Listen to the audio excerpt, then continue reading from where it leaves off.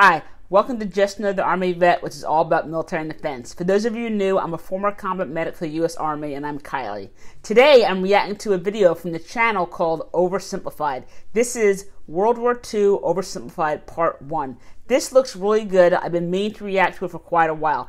Now, I am not a historian, and I'm definitely not a World War II expert, but I do have some basic knowledge of the war, but most of my knowledge has to do with America's involvement. Let's get to it. It's 1902. A young man by the name of Benito Mussolini moves from Italy to Switzerland to avoid military service. He gets big into socialism, working for trade unions, writing for socialist newspapers, advocating a violent overthrow of European monarchies, the whole shebang. This gets him in a bit of trouble with the Swiss police, so he gets arrested, sent back to Italy, set free, returns to Switzerland, is arrested again, goes back to Italy again, completes his military service after previously avoiding it, and then after a brief stint as an elementary school teacher, he finally returns what? to work as an avid socialist. A school teacher? His speeches and journalistic abilities made him famous among Italian socialists. He was anti-war, so when Italy colonized Libya in 1910, he rioted and got arrested. Then World War I came along, and once again he protested Italy's involvement. But then he thought, wait a minute, this war could bring about the social climate needed to overthrow European monarchies and bring about the socialist revolution everywhere. And suddenly he was pro-war, but his fellow socialists didn't like his new pro-war stance, so they kicked him out of the party. So then he said, you know what? I'm done with socialism. We need something new, not based on class divisions tearing us apart, but based on unity Fascism. We'll conquer the Mediterranean and reunite all Italian peoples just like the days of the Roman Empire. I'll call it fascismo, and it will guide the Italian nation to greatness. That's all well and good, Mr. Mussolini, but what kind of haircut am I giving you? Let's go with. bold.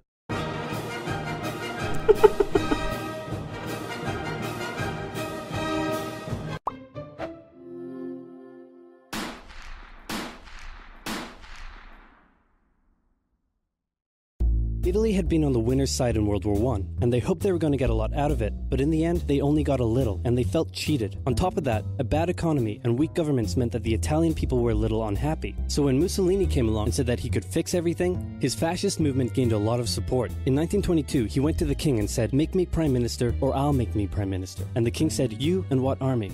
This army. Fair enough. Then he went about establishing a dictatorship with himself at its center. Europe had its first fascist dictator. Next up, Germany. Germany had been on the loser's side, and they got absolutely wrecked by the Treaty of Versailles. They lost territory, had to demilitarize the Rhineland, had to reduce their army to just 100,000 men, couldn't have an air force, had to pay the Allies a huge amount of money that it didn't have, and a new rule was established that every Englishman withheld the right to walk into the center of Berlin, pick out any German they wanted, and spank the hell out of them. I made that last one up, but it helps you understand how all of this felt to Germans. On top of that, a bad economy and weak governments meant that when a small angry man with a silly mustache came along and said that he could fix everything, the German people loved it. Hitler had been a soldier during World War I, and he was crazy patriotic, and nobody was madder than him about Germany's humiliation. He helped start a new political party, and in 1923 attempted a march on Munich with his boys and then he got arrested. But his popularity grew and grew, and in 1933, the president made him chancellor. He believed he was Germany's great destined savior, and he went full megalomaniac, establishing a dictatorship with himself at its center. Europe had fascist dictator number two. Hitler and Mussolini had a lot of the same ideas, but more importantly, they had the same enemies, and they started to get along. Anyone else want to be friends? Franco? No? You good? I do. Who's that? It's Japan, and they've taken over northern China. Let's rewind a bit. Japan so these two dictators were the saviors of their country. That's what they portrayed themselves as. They said to their countrymen, I will fix everything. Put me in power and just see how good this gets. Just wait and watch. Japan had isolated itself from the rest of the world for over 200 years until the Americans showed up and said, You're going to trade with us and you're going to like it. Then the Western powers imposed a bunch of unequal treaties, meaning Japan's economy was bust. They also had no natural resources, so they decided to go get some. They went to war with China to gain a sphere of influence over Korea, and they took a bunch of China's stuff. But then the West said, Hey, Cut that out. And since Japan couldn't take on the West, they said, okay, I guess we'll just go home. Wait a minute, what are you doing? Taking advantage of a weakened China and setting up spheres of influence. But I was the one who weakened them. We know. And you guys didn't let me have anything. We know. That seems unfair. We don't think so. Okay, see ya. So Japan thought, screw this, and went to war with Russia, and stunned everyone by actually winning. Then they fully annexed Korea, but they didn't stop there. In World War I, they took Germany's colonies and islands in Asia. And then in an incident that was maybe staged by the Japanese army, a bomb blew up a Japanese train in Manchuria, giving them an excuse to launch an invasion and take over. So here's the situation Nazi Germany, Fascist Italy, and Japan all believe they're racially superior, all feel hostility towards the Allies, and all want to militarize and take over more stuff. And so they did. Let's start with Germany. Hitler hated the Treaty of Versailles, and now he was ready to begin undoing it. In complete violation of the treaty, the first Luftwaffe squadrons were set up, conscription was introduced, and he pimped up his army. The Allies did nothing. Then Hitler sent his army back into the demilitarized Rhineland, giving orders to immediately retreat if the Allies showed up. The Allies did nothing. With his military re-strengthened, he could now move on to step two. He wanted to rapidly increase the Aryan population, and to do so, he needed Lebensraum, or in other words, he would have to take over the world. But for now, a good portion of Europe would do, and he began eyeing up his neighbors. The Allies finally started to get. So I forget what this is called. It might be called appeasement, maybe, but essentially, Hitler wants all this land and territory, and the Allies say, no, you can't have it. Hitler says, uh, oh, well, I'm going to take it. And then the Allies say, uh, okay, but you can't take anything else. But you know what? Here's some treaties to sign. That way you don't take any more land.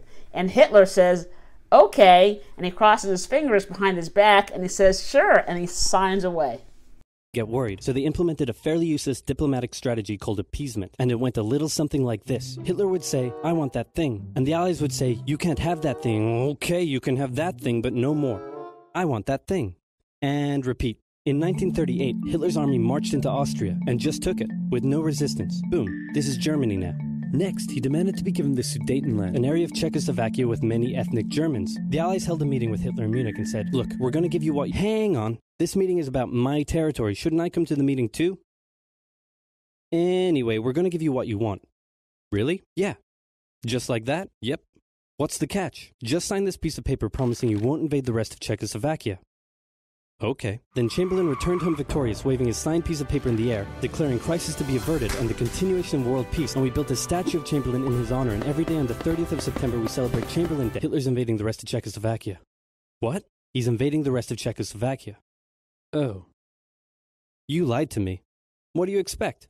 I'm Hitler. Not to be outdone, Mussolini also wanted to get in on the action. He thought to himself, isn't there a not yet colonized nation somewhere which is so underdeveloped that the people would be defending themselves against our tanks with literal bows and arrows and wooden spears? Oh, there is? Fantastic. I've never even heard of that country. Italy also wanted to control the entrance to the Adriatic Sea, so they occupied Albania. Then, in another incident which was maybe staged by the Japanese, gunfire was exchanged by Japanese and Chinese troops at the Marco Polo Bridge, and the Japanese launched yet another invasion against China. They swept through Beijing and Shanghai, and then advanced through the Yangtze Valley to China's then capital, Nanking. It was here that saw the worst of Japan's shocking atrocities. This is on par with some of the horrible atrocities that the Germans did, actually. If you ever read the book, or there's a movie made of it also called The Rape of Nanking, that will be an eye opening read or watch. Committed against the Chinese people. Back in Europe, Germany and Italy made their relationship status official by signing the Pact of Steel. Then, Hitler turned his eyes towards Poland and the hated Polish corridor splitting Germany in two. At this point, the Allies really had to put their foot down, and they warned him that an invasion of Poland would mean war. Hitler had planned to continue his advance eastward, but he didn't want to end up fighting a war on two fronts. So for now, he made an alliance with Stalin, saying, How about we both invade Poland and split it between the two of us, and I definitely won't not refrain from not betraying you sometime in the future. Sounds Good. This new alliance stunned the West. On the 1st of September 1939, German troops entered Poland, and Britain and France declared war on Germany. The Poles fought hard, but they were no match for the two giants crashing down on them from either side. Then came a period known as the Phony War, where everyone just sort of sat around not doing much.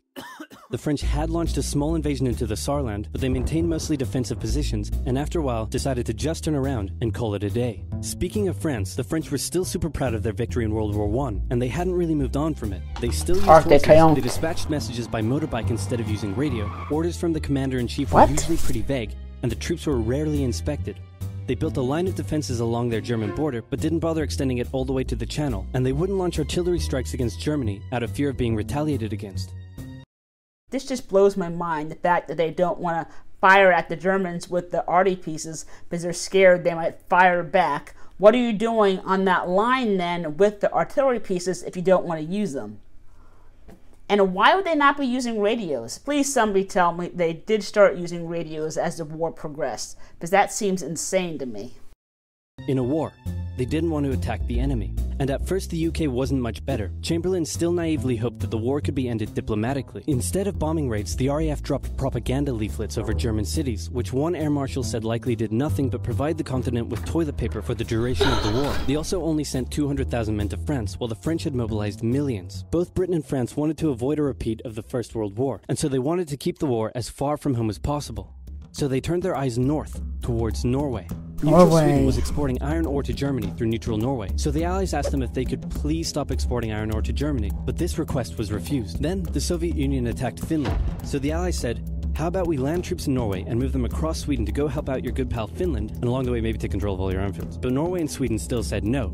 So the UK mined the waters around Norway to force any transport ships into international waters, and they also attacked a German tanker they found in the area. Hitler realized what the Allies were up to, and he quickly moved to secure his supply of iron ore. He launched an invasion through Denmark into Norway. The Allies rushed to land troops at key ports along the coast, but Germany had taken control of Norway's airfield, and their air superiority decided the fight.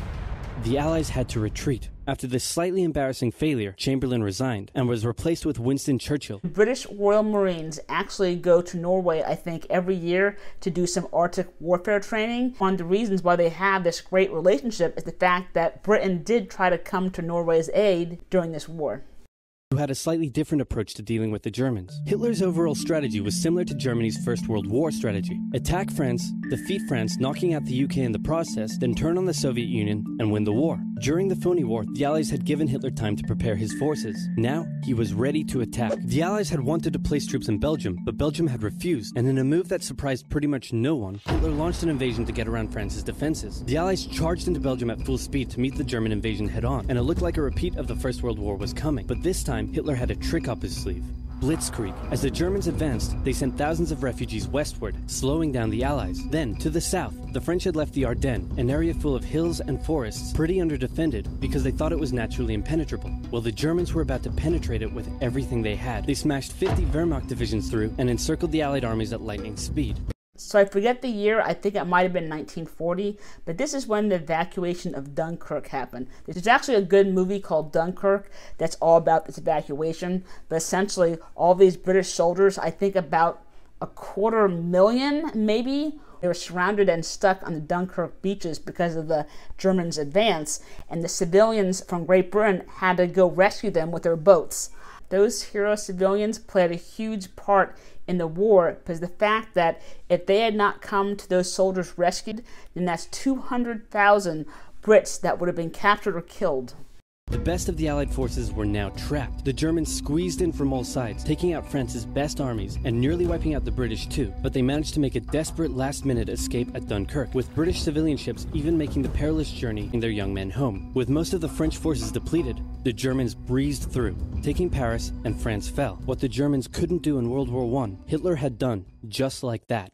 Hitler hoped that with the fall of France, the UK would also lose hope and sue for peace. But quite annoyingly, it didn't, and he needed to secure the Western Front, so he tried to force them into submission with mind games. The UK were now all alone, and Hitler wanted to emphasize that. First of all, just before France fell, Italy finally declared war on the Allies, making the UK's situation even worse. Next, instead of just occupying all of France, Hitler occupied the coastal areas for defense, but allowed France to continue its existence as a German puppet state. This way, it looked like the UK's old ally had decided to switch sides. Hitler also hoped that the UK wouldn't attack any of her old allies' navy bases or colonies in Africa, giving Hitler an extra line of defense to the south. But the UK made sure to respond to this by sailing down to France's navy base in Algeria and wrecking a bunch of ships. So have at it.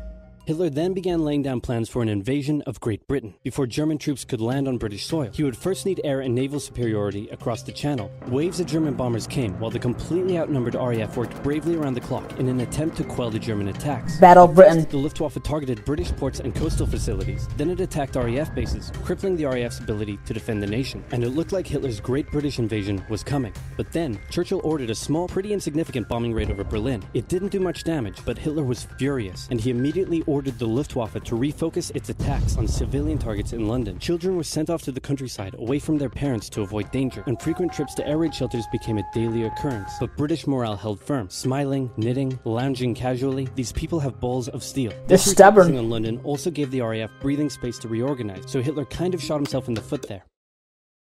Just the foot for now. Finally, the Luftwaffe sent one massive all out attack on London, and the RAF successfully repelled it, destroying many of the German aircraft and placing air superiority firmly in British hands. Hitler's invasion had to be postponed, but the bombing of British cities continued for some time.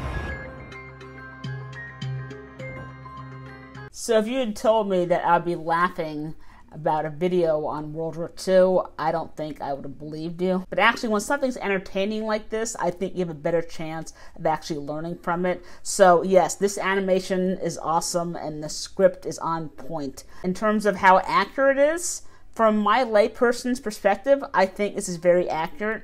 However, I'm sure a historian could sit down and point out all the mistakes in this video. Again, I'm not a historian, so I'm not going to do that. If you want to watch part two, then please hit that subscribe button. Once I film it, I'll put it right here. Thanks for watching, and please smash that like button.